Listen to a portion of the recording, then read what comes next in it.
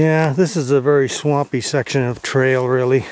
It's got high grass and the grass is wet. Yeah, just sloppy. Yeah.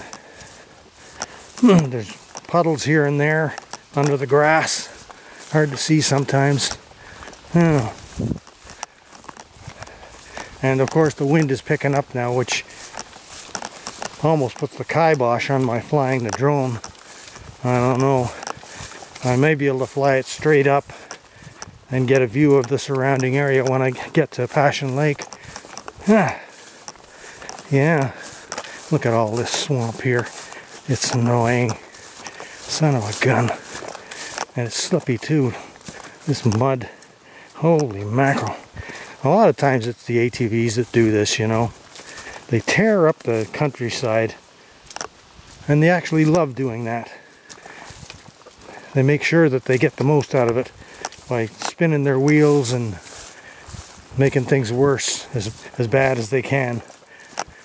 Uh, I get along better with snowmobiles than I do with ATVs. Not that I'd want either one of them.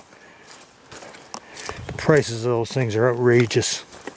I'd never spend that much money on something like that. Yeah. Anyways, yeah, it's still, I like being out here, no matter what the conditions. Hmm. Oh man. Oh.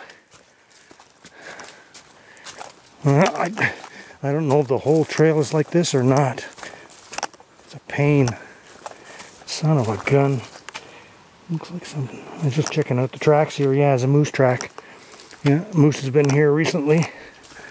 Yep. And of course, hunting season has started now. Not for moose, small game. Yeah, and I do have my small game license, so I am allowed to hunt. And I might be doing some hunting when my brother comes up. Yeah, soon. We'll see how things go. Of course, everything depends on the weather, you know, as it always does. Yeah. What it looks like, the long-term forecast, it's going to get cooler, but uh, as far as sunshine goes, you really have to wait until the day comes because nobody knows. Yeah, it's like um, after you die. Nobody knows what's after you die.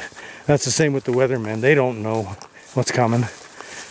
Yeah, they can just take a guess like we can. Anybody can guess as well as they can. Yep. You have all the tools online now. Radar, satellite shots. You can tell yourself whether it's going to rain or be sunny or whatever. And that's what I do. I look at the forecasts, but uh, I don't put too much faith in them. Hmm.